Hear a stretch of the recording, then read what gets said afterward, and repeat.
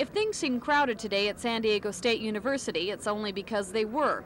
A lot of students school officials expected wouldn't be returning this year came back after all. 33,466 was the head count on this first day of class. That translates into nearly 25,000 full-time students, the school's capacity. The effect of overcrowding was obvious to most students. The problem in the classrooms is that there are more students to take the courses than there are courses to be gotten. There must be hundreds of people crashing Spanish classes. I just wish they had had more classes. I had to crash one course, and I got it, and the other one I had to crash, I couldn't get it, so back to the drawing board. That's what a lot of students went back to today.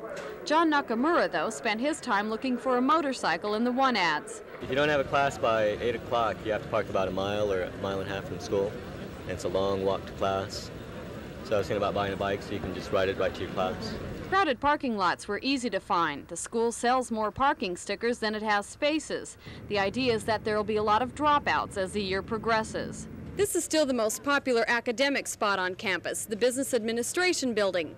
Some figures show that more than 40% of the students on campus are business majors.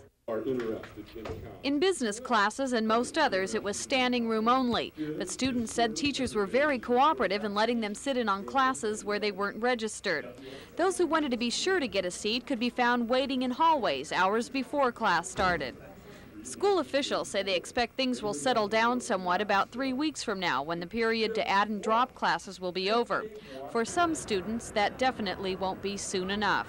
Bridget Asaro, News 8, San Diego State.